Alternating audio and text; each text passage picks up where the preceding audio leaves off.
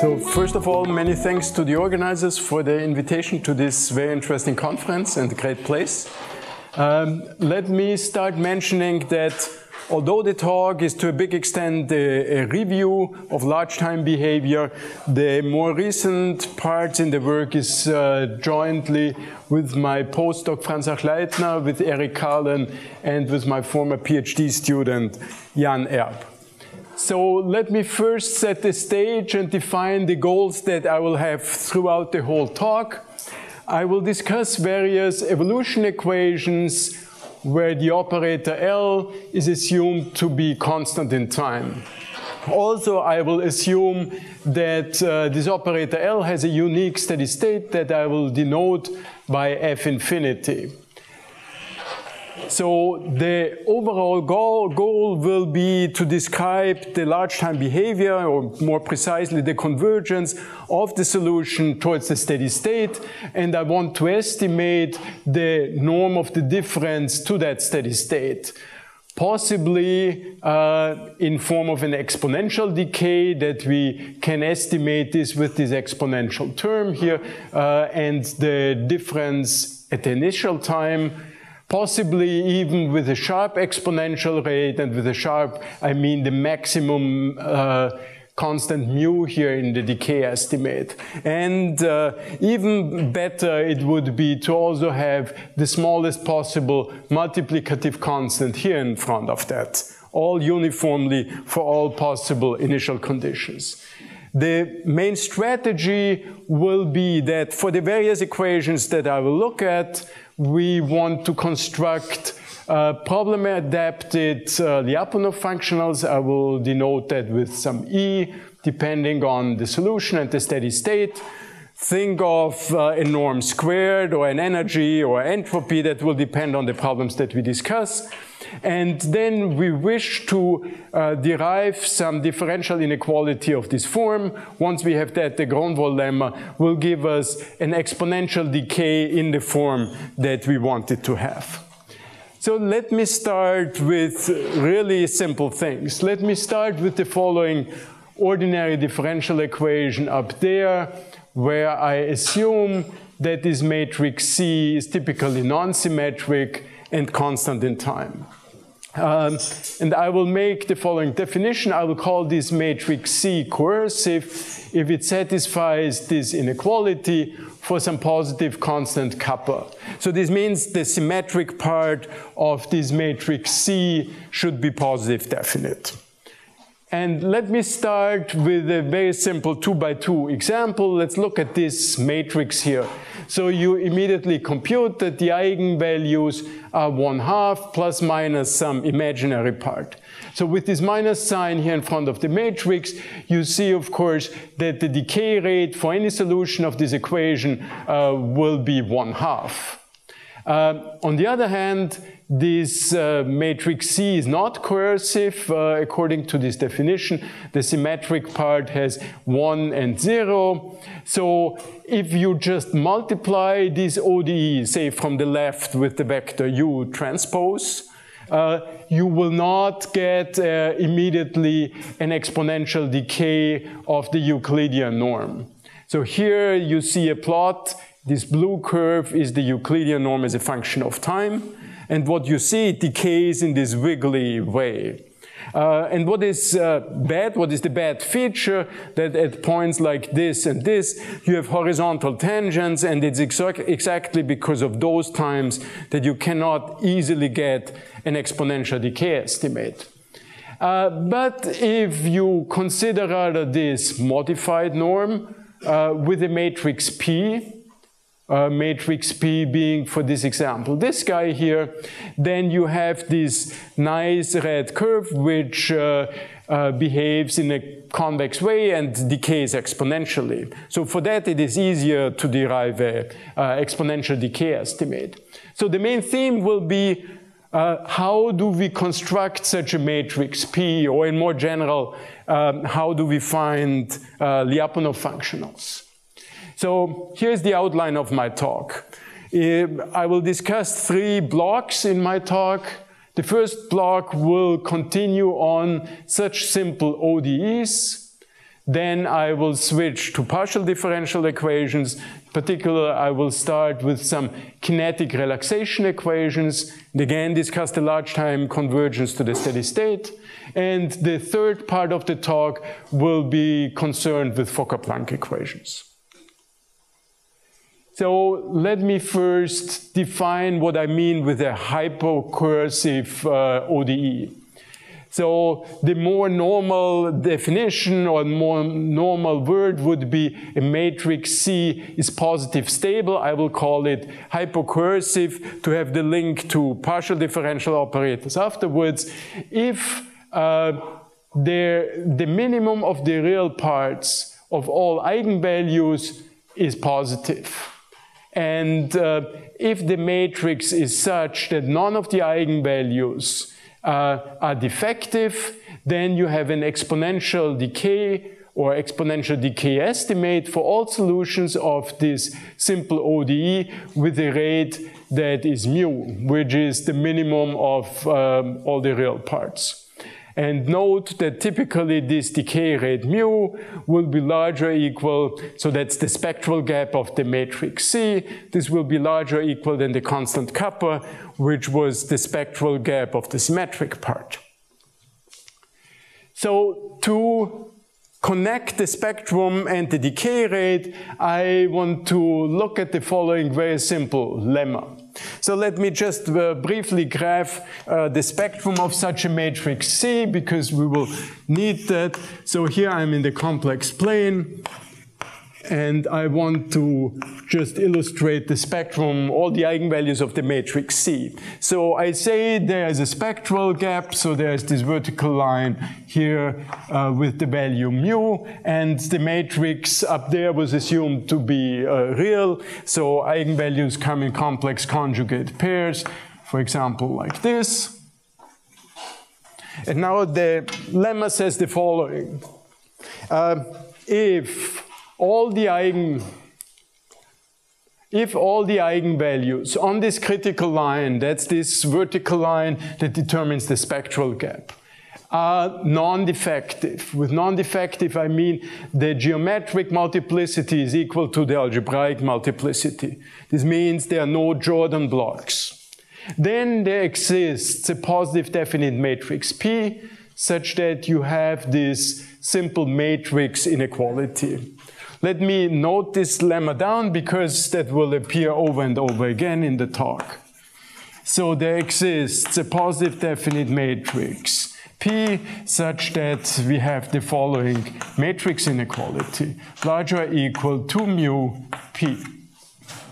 And just to anticipate how to put things into perspective, this constant mu that appears here will end up being the decay rate, the sharp decay rate that we will see in our system.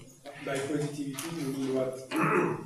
Positive definite, a positive, strictly positive definite matrix. Uh, if now at least one of the eigenvalues on this critical line is defective, then you lose an epsilon in your uh, matrix inequality, or in other words, you will lose an epsilon in your decay rate. Let me just give you a brief idea of the proof, how to construct this matrix P. So I will just show it to you in the non-defective case, which is easier.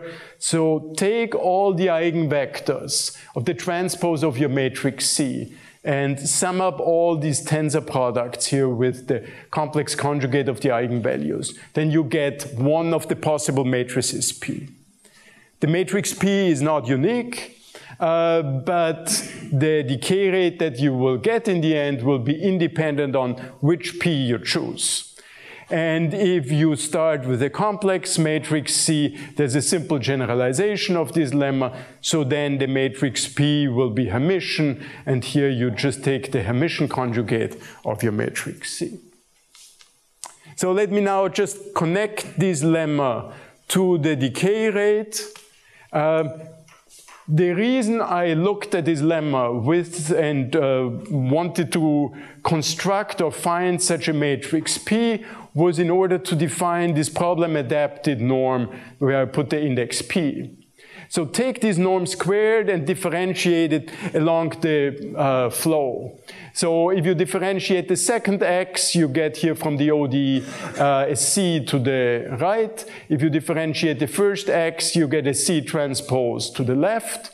And here this linear combination of the matrices P and C is exactly what we had in this lemma. So you can estimate this by 2 mu P. But with the P, we are back to the norm. So we have here this differential inequality uh, for the P norm squared.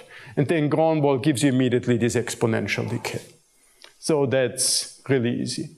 Uh, let me just mention that this idea of defining and constructing problem-adapted norms uh, in spirit is nothing new. If you look at the textbook of Pazy, for example, on strongly continuous semigroups, so there, for example, he defines a norm which is the supremum along each individual trajectory uh, in order to make the semigroup in the new norm a contraction. In spirit, this is very similar, although that construction will not give you the sharp rate. Um, let me continue with this very simple example once again, and let me illustrate what is really going on here. So we have a two-dimensional problem. Uh, this blue spiral is just one of the solutions of this ODE. It converges to the origin, of course. Then in this plot, I also have these two black circles, which are, of course, the level curves of the Euclidean norm. So what happens with this blue spiral is that along this solution, the Euclidean norm will always strictly decay unless you are crossing the x2 axis. When you are crossing the x2 axis here, you're tangential to the Euclidean uh, level curve. So there, at that point, the norm does not strictly decay. And therefore, we have seen this wiggly decay of the norm. So, but now, uh, I had introduced this distorted norm with the matrix P. Uh, the, this red ellipse is just a level curve for this distorted norm. And it's constructed in such a way that this blue spiral will always intersect the level curve at a non-trivial angle. So with this modified norm, you will always have a strict decay, and that's what we are after analytically. Uh, let me introduce another concept related to this hypocoercive ODEs. Uh, here is again this uh, simple ODE, but now I split the matrix C into its symmetric and skew-symmetric part. So C2 is the dissipative or symmetric part in the matrix. I assume that this matrix is positive semi-definite, and I times C1 is now the skew-symmetric part. And I uh, define as the hypocoercivity index of this matrix C the smallest integer such that this linear combination of matrices is positive definite. So before looking and trying to digest this sum, let, let me uh, illustrate that in the simplest cases. So simplest case is if the matrix C is not only hypocoercive, but coercive, which was defined as the positive part, which is C2, has to be positive definite. So if the C2 is already positive definite, I don't need all these products with C1, uh, and therefore the index is uh, zero. Uh, if you uh, start with a matrix C2 that is only positive semi-definite, you have to glue from the front and the end these powers of the matrix C1. And if this can be done with finitely many terms here, then I call the matrix C hypocoercive. If this is the case, then for analytic uh, reasons, no, for algebraic reasons, you have an upper and lower bound for this hypocoercivity index. So key question is, of course, why do I introduce that? What's the purpose of this hypocoercivity index? Um, the reason I want to show that to you is that this index describes the complexity of this ODE in the sense it describes the complexity of the interplay between the two parts of the matrices. How complicated is the intertwining of these two parts? So let me illustrate that in another example. And before this example, uh, let me give this simple lemma. A matrix C is hypocoercive if and only if no subspace of the, of the kernel of the matrix C2 is invariant under the other matrix C1. So the purpose or the goal of the matrix C1 in the evolution is to mix up the kernel of C2 with the orthogonal of the kernel, the decaying modes with the non-decaying modes and C1 should not leave invariant any part of the kernel. Otherwise, you wouldn't have a decay in the whole system. So now let's look at the following 4 by 4 system.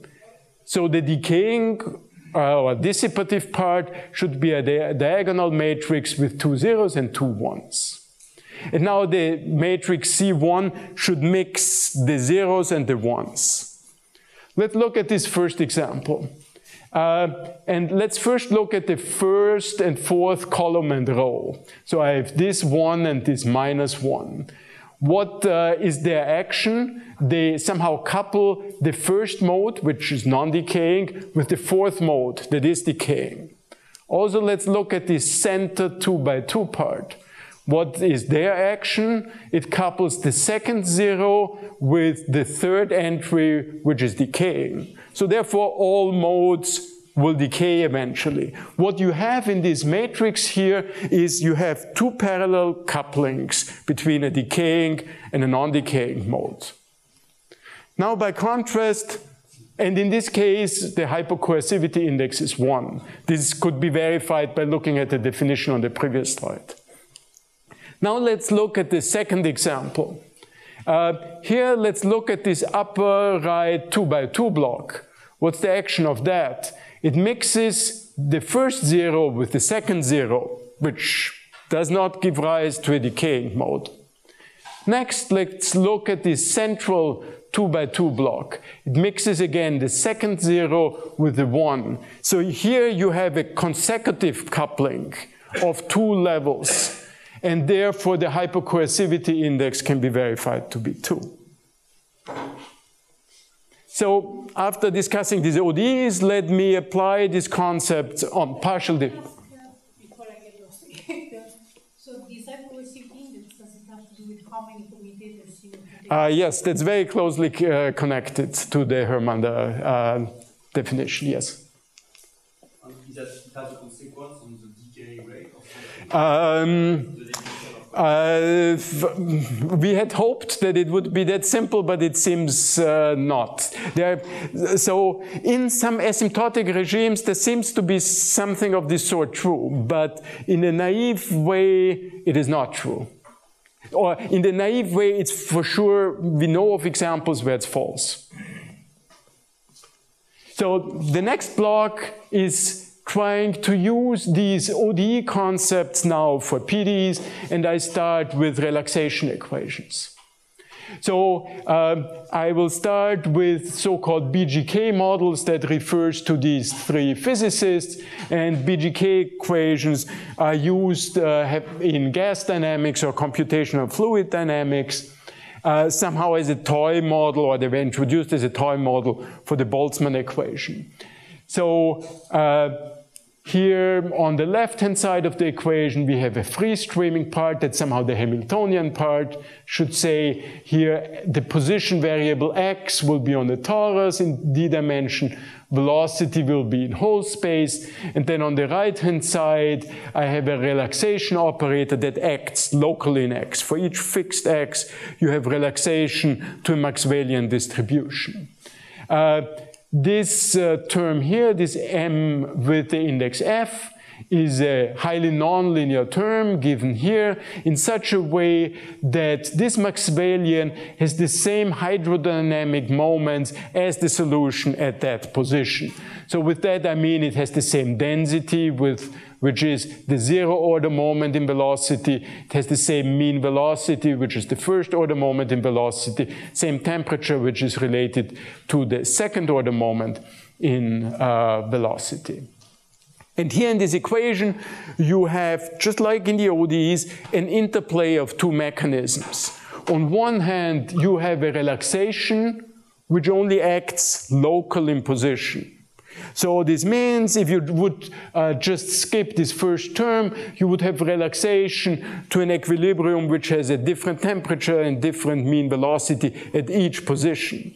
But then you have this Hamiltonian part which will mix all the different positions and eventually the mixing will give rise to convergence to a uniform, to a constant in x Maxwellian as the global steady state. And this interplay is what is referred to as hypocoercivity if there's an exponential decay for that.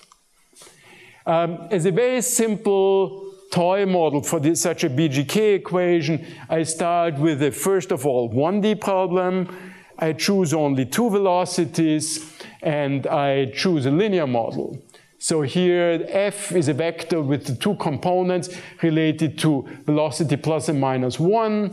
Here you have the transport in positive and negative direction, and that's now the linear relaxation operator. I, uh, let me recall, everything is periodic in x. So in order to understand this very simple PDE, uh, First of all, we Fourier transform in the x direction. Uh, the Fourier modes will be labeled with the index k. And in the velocity direction, I introduce the spaces 1, 1 and 1 minus 1. Um, let me just remark that exactly this model was, for example, looked at by Dolbeault, Mouhot, and Schmeiser with their hypocoercive uh, techniques. They uh, proved exponential decay, but their rate was not sharp. And then uh, shortly afterwards, we revisited this problem and extracted the sharp decay rate. So let me just briefly go through this problem. So what I did was Fourier transform in X, then you see that each Fourier mode is decoupled, and for each Fourier mode with the index k, you have this very simple ODE with the constant matrix C sub k. Here's the matrix. So for the k equals 0 mode, uh, the matrix here is the entries 0 and 1, which are the eigenvalues. For all the other modes, you have eigenvalues 1 half plus minus some imaginary part, which tells you the decay rate will be 1 half for all the higher modes. Steady state for the zero mode is one and zero. So this guy here, the zero eigenvalue will not decay. That corresponds to the steady state. Uh, here you have a decay, so it will decay to the origin. So the idea is we will now treat each Fourier mode separately. And just by following the pattern from the first block of my talk, for each mode, I have to construct uh, the appropriate norm. So for each uh, mode, I have to introduce a separate matrix pk using this lemma that I've shown you at the very beginning. For the zero order mode, uh, you have an exponential decay rate 1, because here you have an eigenvalue 1. For all the other modes, you have a decay rate 1 half, because of the real part that appears here. So then uh, you uh, apply the lemma that uh, is still here on the board and uh, you have for the higher modes the decay rate one half. So now the idea is to collect or sum up all the modes, all the Fourier modes. Here is uh, here listed how these matrices pk look like explicitly. What is convenient here that as the modes go to infinity, this matrix pk uh, converges to the identity matrix. So the natural Lyapunov functional for this system is sum up all these pk modes for each Fourier mode. And in the end, you want to relate that to the Euclidean norm. Yes? What is the intuition for choosing pk? The intuition is that P, pk will uh, give you the sharp rate mu here. So any, any PK that satisfies that requirement is equal to good? Yes. Uh, here, if you look through this example, you won't have much choice. You will just can, you can only choose multiples of that. That will be your only choice. In higher dimensions, you have more flexibility, and then the multiplicative constant will depend on your choice. Maybe also very hard to choose a It may be for larger system, it will be hard. Here it's simple. So you want to connect it to the Euclidean norm. What is convenient here is that this converges. So since this converges, uh, this specially defined norm is equivalent to the Euclidean norm for all modes. Well, if you have the Euclidean norm, then by Plancherel, you can go back to phase space uh, in position and velocity, and you get in the end an estimate for the decay of the Euclidean norm for the sharp decay with the exponential rate 2 and with the best multiplicative constant square root of 3, which appears as the numerical condition number of the matrix P1 because you want to exploit, you want to go back and forth between this P norm and the Euclidean norm. So now as a second topic for these BGK relaxation equations, let me still uh, work on a 1D problem, but now I have continuous velocity. So I proceed as before, I consider the spatial Fourier modes. Again, they decouple, but now you have infinitely many velocities. So in velocity, I introduce uh, as a basis Hermite functions. And then in this basis, I have an infinite vector of the coefficients. And for this infinite vector, I denote this with f hat for each fixed Fourier mode. I have the following evolution equation. So that's now actually an infinite ODE. So this matrix L1, here you see the Fourier transform part of the transport operator has this structure and it's an infinite tridiagonal matrix. The dissipative part corresponding to the relaxation term from up here uh, is encoded by this matrix L2, which is this infinite diagonal matrix. All modes decay with the rate minus one, except of the first one, because this, matri- uh, this BGK equation conserves mass. So what do we need to have? We need to have a coupling uh, of this first mode with the second mode that will be introduced by the action of this upper left 2 by 2 block. So following the ideas from the previous two uh, velocity BGK equation, what would be nice would be to construct the best matrix P and the best uh, constant mu. But for an infinite matrix, that is really hard. I have no idea how to do that. So as a compromise, I will now give up the quest to find here the best or sharp exponential decay rate. Uh, and I will rather, instead of trying to find this infinite matrix P, I will want to find a simpler approximate matrix P that will at least give me some exponential rate, even if it's not the best one. So I will make the following ansatz for this matrix PK. It's an infinite identity matrix where I replace the upper left 2 by 2 block by this ansatz. Why do I do that? Well, it's this upper left 2 by 2 block that encodes the coupling between these two modes. And that's what I need.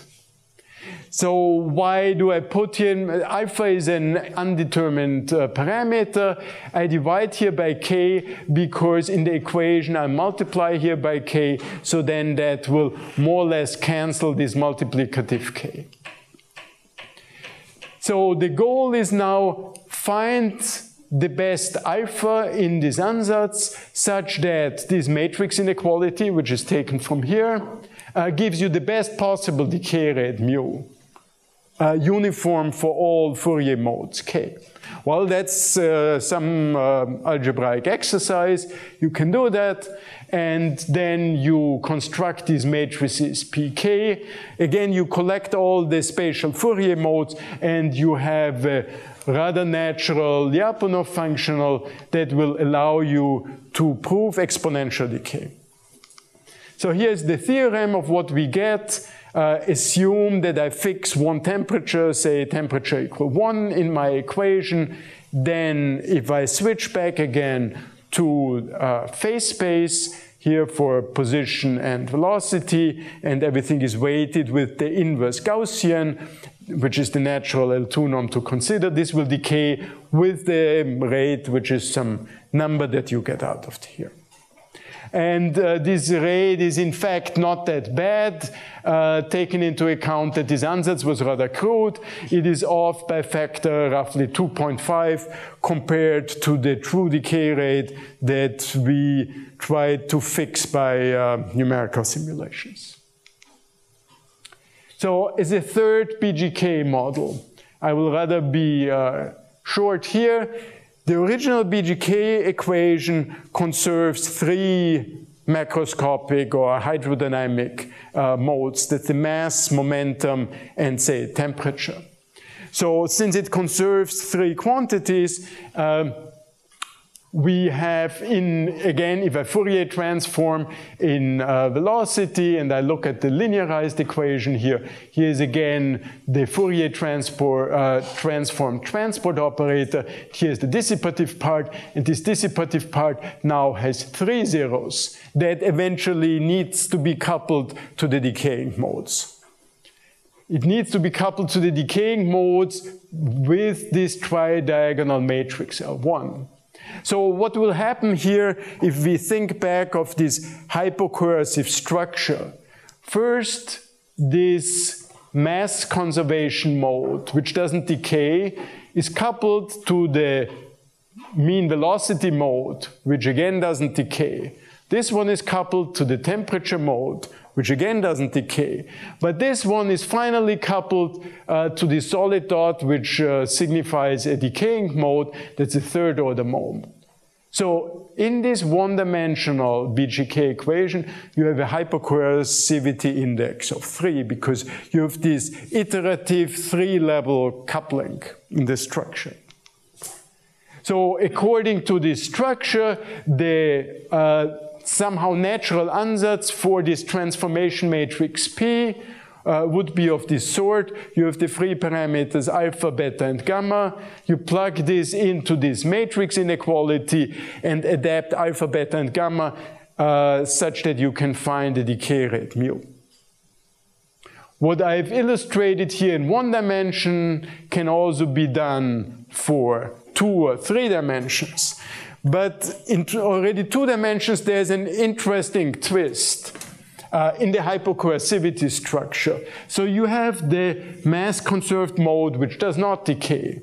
This is coupled to the two velocity modes or momentum modes, which don't decay.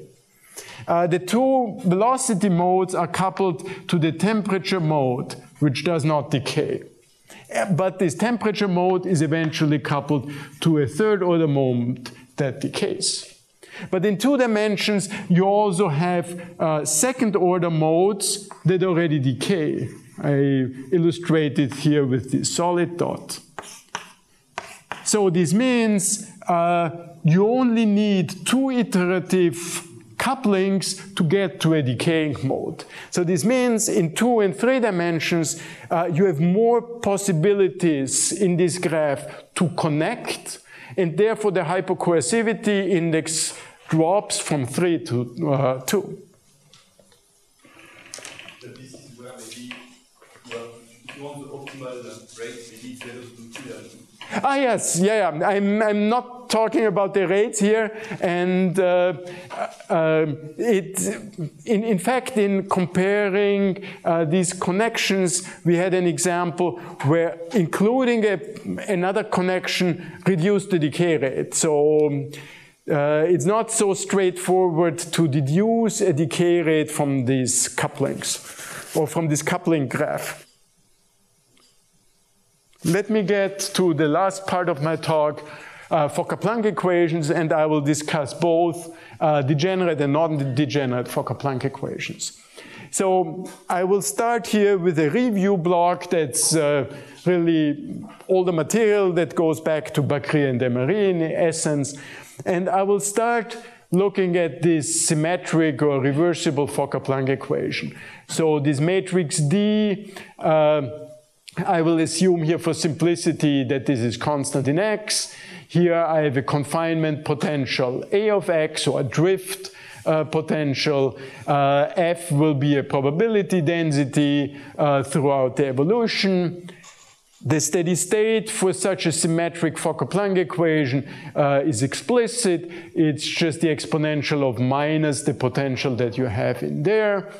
Using this steady state, you can write uh, this right-hand side of your equation in this more compact form, you, you have the gradient of the solution over the steady state, and here the diffusion matrix, and here f infinity. In the first part, I will assume that the diffusion matrix is positive definite, so uh, this will be a non-degenerate diffusion equation. And concerning this confinement potential, it has to grow towards infinity. Think of it uh, as asymptotically a quadratic term. Um, I want to estimate somehow the distance between the solution at any time t to the steady state. And I will use here some relative entropy as, uh, say, a non-symmetric distance between two probability densities, and it's defined here as this integral. So I will look at a whole family of relative entropies that are defined by this scalar function psi uh, that goes from the positive reals to the positive reals. So these uh, functions psi should be non-negative, they should have a zero at one, they should be strictly convex and satisfy this technical condition here. So here are some examples of such functions psi. So because of this one and only zero at one, the relative entropy is zero if and only if the two probability densities are the same. So examples would be this logarithmic entropy or Boltzmann entropy, and then power law entropies with the power p, and the power p can range between 1 and 2 in order to fulfill this technical assumption. So let me go back to this symmetric Fokker-Planck equation, and we want to use this relative entropy between the solution at time t and the steady state. So first we differentiate this in time along the uh, flow of the Fokker-Planck equation. So if you plug in the Fokker-Planck equation, integrate by parts once, you can write it as this integral. And it has a sign because psi was convex and the diffusion matrix is positive definite. So the integral is non-negative. And this is uh, referred to as the Fisher information. So we see the relative entropy will be non-increasing. So uh, it satisfies the first criterion for Lyapunov functional. The goal will be we want to quantify the decay of this relative entropy. Uh, I will now briefly review the so-called entropy method that has become very popular in the last 20 years in PDEs and the, uh, before already in probability. Um, as I said, it goes back to Bakry and Émery, and then, uh, for example, in this reference, you find the PDE rewriting um, of this story. In this, in this entropy method, you always have two steps. Eventually, you want to prove that the relative entropy decays exponentially. But in the first step, you rather show exponential decay of the entropy dissipation. That's the time derivative of it, or of the Fisher information. And to keep the exposition here simple, assume that this matrix, the diffusion matrix D, is constant in X. So here's the steady state, and we have the following theorem let the diffusion matrix and the drift potential satisfy this condition here, referred to also as Bakry-Émery condition. So the Hessian has to be bounded below by a positive multiple of the inverse diffusion matrix. So if the diffusion is the identity, then this means the potential has to be uniformly convex. Then uh, you have exponential decay of the Fisher, relative Fisher information, if you like, at time t, uh, compared to the initial Fisher information with a rate that is determined by this convexity condition. So now the second step of the relative entropy, of the entropy method. There you want to prove uh, exponential decay of the entropy itself. So under the same convexity condition, you get exponential decay of the relative entropy with the same rate as before. And let me just give you a glimpse of the proof. Uh, in the first step, or to prove the first step, you actually work out this differential inequality for the time derivative of the Fisher information. So that guy here is actually the second time derivative of the relative entropy. And you have this differential inequality. So now you take this differential inequality and integrate it in time from t to infinity, then you remember that the Fisher information was nothing but minus the time derivative of the entropy, and then you get the uh, according differential inequality for the relative entropy, and then by Gronwall you have uh, the exponential decay that you wanted to see. So let me now uh, add the following very simple corollary. So far in this uh, block, I discussed only symmetric Fokker-Planck equations, where the drift term is a pure gradient. Uh, we have already seen yesterday in the talk of Professor Eberle uh, that this is closely connected to non-symmetric Fokker-Planck equations like this guy here. So the only thing I added here was to the gradient term a more general vector field that has to satisfy this divergence-free condition uh, such that by adding this term, the steady state f infinity would be unchanged. So writing or decomposing the drift field into this gradient and non-gradient part uh, gives a separation of the generator into a symmetric and skew-symmetric part. And um, here in this corollary, I want to say that exactly the same exponential decay uh, estimate also holds for this general, more general class of Fokker-Planck equations. And there's nothing more you have to prove. It comes for free. Why? Well, if you look at this differential inequality, the relative entropy, uh, of course, doesn't see this term because it's not included there. And then if you compute the time derivative of the relative entropy, uh, you see that the time derivative doesn't see this term either because of this divergence-free condition. So this differential inequality is identical for a symmetric and non-symmetric Fokker-Planck equation. So this result just carries over for free to the non-symmetric Fokker-Planck equations. Uh, let me add some comments on this differential inequality. So here we have a relative entropy. And here we have the entropy dissipation or Fisher information. And uh, this inequality can also be interpreted as a logarithmic Sobolev inequality or weighted Poincare inequality. So on the previous slide, we had this inequality for any time t. So let me choose, for example, t equals zero. So I have this inequality here. And I write out this inequality, for example, for the logarithmic entropy. So here I have the relative entropy term, and here is the explicit form of the Fisher information. And now we can forget how we proved that, that there was a time evolution with a PDE as a background. Let's just consider this as a functional inequality where F0 is some probability density and F infinity is another one that is log concave such that it satisfies the Bakry-Émery criterion.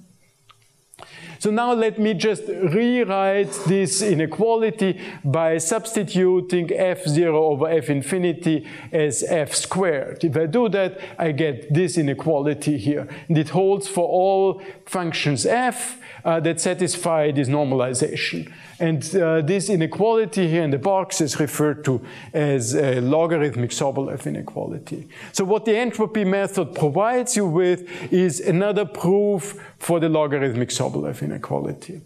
So just as an example, uh, if your potential that is related to the steady state is quadratic, then the steady state is just a Gaussian. Uh, the best constant in the Bakry-Émery convexity condition is 1 over A, uh, which I chose here. And if you use that here in this inequality, you get the original first log Sobolev inequality that goes back to Federbush-Shawcross. So let me now go back to Fokker-Planck equations. Uh, on this slide, I want to show you the big difference between non-degenerate Fokker-Planck equations and degenerate Fokker-Planck equations. And somehow this is a, uh, one of the key messages of the talk, how different this behavior is. So here on the left-hand side, the red curve is the behavior of the relative entropy as a function of time. It decays nicely as a convex function with this exponential decay. Uh, if you look at the time derivative, that's this dotted uh, curve. It's of course negative. But the key information is the uh, time derivative, the entropy production, is always strictly negative unless you are at the steady state. It can never be zero elsewise. Therefore, it's possible that we have a differential inequality between the Fisher information and the relative entropy. Here on the right-hand side, I show you the typical behavior of the relative entropy as a function of time in a degenerate Fokker-Planck equation. You see again this wavy behavior that we already saw in, in ODEs. So it's not convex. So here the dotted curve is again the time derivative. You see it's zero here, zero here. So the entropy production is zero also at states that are not a steady state, which has a consequence that such a differential inequality must be wrong in general. But this was the key for the entropy method. So this means the standard entropy just cannot work for a degenerate equation. So let me now fix the class of degenerate equations I want to discuss. Uh, here I will look uh, at linear Fokker-Planck equations with a linear drift given by this matrix C. And here it is constant diffusion matrix D that is now positive semi-definite. First condition I impose is uh, that no subspace of the kernel of the uh, matrix D uh, should be invariant under the matrix C transpose. This sounds very much like the interplay of the matrices C1 and C2 in the ODE case. And this condition, whoops, this condition is exactly equivalent to the Hörmander condition for the operator L to be hypoelliptic. So therefore, we have an instantaneous regularization. The solution gets instantaneously strictly positive. Um, but I'll need a second condition on top of that, I also need that the drift matrix here is positively stable, which amounts to essentially saying that the drift that there's a drift potential that is confining, such that your uh, system cannot run away off to infinity in some direction. So the punchline of my assumptions will be, I assume hypoellipticity and confinement, and this will give us hypo uh, coercivity, which is exponential decay to the steady state. Uh, next topic is a steady state. Here I can be quick because this was already covered yesterday afternoon. So for this equation, uh, the steady state is a non-isotropic Gaussian with a covariance matrix K that is the solution of this continuous Lyapunov equation, exactly under the uh, conditions that I had on the previous slide. Uh, once you have this uh, steady state in this Gaussian form, you can introduce a coordinate transformation, think of a stretching and a rotation, such that uh, the Gaussian becomes the standard Gaussian with covariance matrix identity. If you introduce this normalization, then in parallel the diffusion matrix turns out to be the symmetric part of the drift matrix. So to keep notation simple, I assume I'm now, from now on, always in this normalized setting. So I said before, the problem with uh, degenerate Fokker-Planck equations is the entropy dissipation can be zero for states other than the steady state. So here is the standard Fisher information, here the diffusion uh, matrix, and this is only positive semi-definite. So if this gradient here uh, lies in the kernel of this matrix, it will already be zero. And so that Lyapunov functional is not really useful uh, to build an entropy method on that. Therefore, I uh, tune this functional slightly. The structure stays the same, so I just introduce somehow out of the blue a new functional where I only replace this positive semi-definite matrix by a positive definite matrix P. And the goal is for this new functional, again, I want to have a differential inequality between this functional and its time derivative. Uh, if I'm able to find such a functional for an appropriate choice of a matrix P, then I have exponential decay for this functional, which has no uh, canonical meaning for the original equation. But since I can bound from below the matrix P by the diffusion, diffusion matrix with some constant, once this modified functional decays exponentially, also the Fisher information will decay exponentially. And this is what I really want. So I told you in my review part, the entropy method comes always in two steps. First, you want to prove exponential decay of the entropy dissipation and afterwards of the entropy itself. So let's uh, use the following auxiliary functional with the matrix P that is again taken from this algebraic lemma that I had from the very beginning. And the constant mu that appears here is again the spectral gap of the matrix C. And the matrix C is now the drift matrix in your Fokker-Planck equation. So for that, we have the following result. Under some uh, technical assumptions on the initial condition, uh, if all the eigenvalues of your matrix C on this critical line are not effective, then you have exponential decay of this modified functional with the sharp rate mu. If you do have some defects on the critical line, you lose an epsilon in the decay rate. So the spectral gap of the drift matrix is transformed to the uh, decay rate of your Fokker-Planck equation. Uh, let me uh, just give you an idea of the proof. So again, you have to differentiate in time this modified functional capital S. So after some work, you can write it in two terms, and the main term is this guy here, where the u denotes the gradient of f, the solution f over the steady state. And there you just happen to find this linear combination of the matrices that we have seen from the very beginning. So since the matrix P was constructed according to this inequality, I can use here this matrix inequality. And it is this step which replaces the standard Bakry-Émery condition in uh, the standard entropy method. And then you get some additional term, with a remainder term, which is, has a sign and which can be dropped.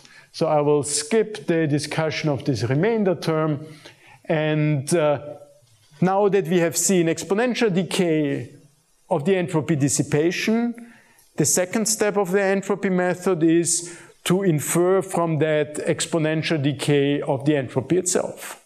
So let us just recall what we did in the standard approach. Uh, there we had exponential decay of the time derivative, We integrated in time the differential inequality and we could immediately get exponential decay of the entropy. We cannot do that here. Because remember, the S functional is not a time derivative of the entropy. It was just invented. Still, we, I have the following uh, differential inequality. So here is the relative entropy of the solution with respect to the steady state. And here I have an exponential decay term with some constant that depend on the initial condition. With the rate that is the spectral gap of the drift matrix and the reduced rate if there's some defect. So in this box here with the two inequalities, the right inequality is what we already know from the first step. So the question is only how do we get this left inequality? So let me just briefly illustrate the proof of that. The idea of the proof is to cook up an auxiliary symmetric Fokker-Planck equation that a priori has nothing to do with the evolution that we want to study. So that's this Fokker-Planck equation for the function g. And I manufacture it in the way that it has the same steady state as my original equation. g infinity is equal to f infinity, which is the standard Gaussian. And I put as the drift matrix of this uh, Fokker-Planck equation here the, uh, the matrix P that I've used in my auxiliary functional. Why do I do that? Well, for this equation here, I can look at the Bakry-Émery condition. Potential A is here this quadratic term, the Hessian is the identity. I can bound this below with the inverse of this drift matrix. So this tells us this auxiliary uh, differential or auxiliary Fokker-Planck equation has solutions that decay exponentially with the rate given with this lambda p.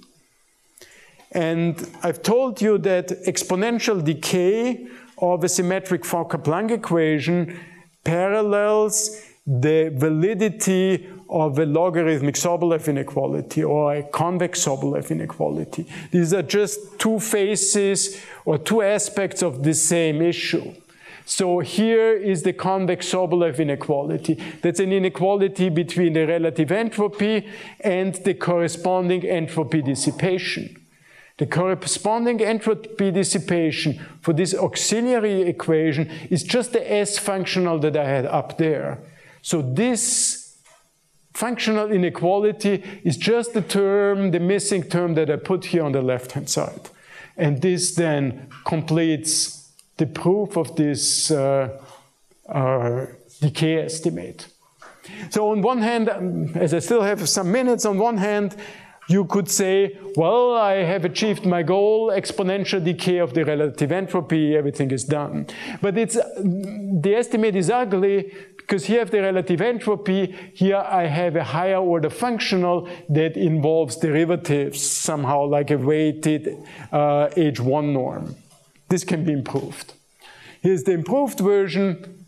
Uh, the relative entropy at time t can be estimated exponentially by, on the right-hand side, just the relative entropy at the initial time. By exploiting the fact that we are dealing here with a parabolic equation that regularizes, although it's degenerate. So the spirit of the proof is very easy. I want to prove, uh, estimate the relative entropy. Um, by this functional inequality, I can estimate it with the entropy dissipation. For this, we have exponential decay in time. But now I don't go back until the initial time, I leave some initial time layer. And in this initial time layer, I use the parabolic regularization. And that gives rise to this decay. So for what I've discussed so far, you could object, that's all very nice that I have this exponential decay, but the type of equations are such that you can write down an explicit Green's function, and from that you can extract, of course, the exponential decay rate, and you, of course, write. So therefore, let me give you an example where there's no explicit Green's function. This is a kinetic Fokker-Planck equation where the confinement potential here is now non-quadratic. Still, you can write down the, uh, the steady state. It factors in a velocity-dependent uh, term and in an x-dependent term. And you can now rewrite this equation here, which is degenerate because diffusion is only in velocity in half of the variables in this compact form. So these two diagonal terms are the diffusion matrix, and you see it's degenerate. So here uh, we have uh, still an exponential decay uh, for the relative entropy, and uh, the game is you can give up uh, a little bit of the decay rate that your, and the potential is a quadratic potential plus a perturbation. Uh, so you can give up a bit of the decay rate from the quadratic term and use that to cover your uh, perturbation. Um, to come soon to the end of my talk, uh, let me give you one more example for a non-symmetric Fokker-Planck equation and it's now a non-degenerate equation. So for non-degenerate equation, we have two entropy methods that would work. Say the old one and this new hypocoercive one. Let me just compare that. So we are, our goal is to find exponential decay estimates of this sort. So the old standard entropy method that was devised originally for uh, symmetric Fokker-Planck equations gives you a local decay rate with a rate uh, one quarter. So the red curve, this wiggly curve, is the true decay of uh, the relative entropy. And this blue dotted curve is perfect here at the initial time, but for larger times it's really uh, overestimating the behavior very much. By contrast, this hypocoercive method, uh, the estimate is this dashed line. So it gives you a very nice envelope of the true behavior. So, and it gives you a global decay rate. So the, the, price you pay is at the initial time you have to overshoot a bit because you have to cover or compensate for these wiggles. And globally it gives you a much better decay rate than here. So this looks pretty nice. There's just one main question one may ask, why does this work rather nicely? So this will be my last slide. Uh, so in these Fokker-Planck equations, you're dealing with a non-symmetric generator. Still, this Fokker-Planck operator has a sequence, a complete sequence of mutually orthogonal uh, eigenspaces in this weighted L2 space. So if you decompose the evolution in these eigenspaces, in the first eigenspace, your evolution of a vector of length n is just determined by the drift matrix. If you go to the second subspace, uh, it's higher dimensional. Think of a matrix. The evolution is determined by this matrix, uh, by this ODE. You have to put the matrix C, still the same matrix from both sides. And if you go to higher order uh, subspaces, you need to look at tensored versions of that. But it will still always be only the matrix C. So the idea is the sharp decay of this simple ODE, which derives from the drift equation, carries over to the full sharp L2 decay of the Fokker-Planck equation once you use the norm P that is given by this lemma. The spirit that you see here uh, is very reminiscent of second quantization. I will not go into details. So let me just flash up a conclusion. We've started with this simple lemma for ODEs here. And I've shown you how you can use these concepts first for relaxation equations and of various levels of complication, and then for hypocoercive Fokker-Planck equations. And here you have some references for Fokker-Planck equation and these relaxation equations. So I'm sorry that I took some minutes more. Thank you for your attention. Thank you.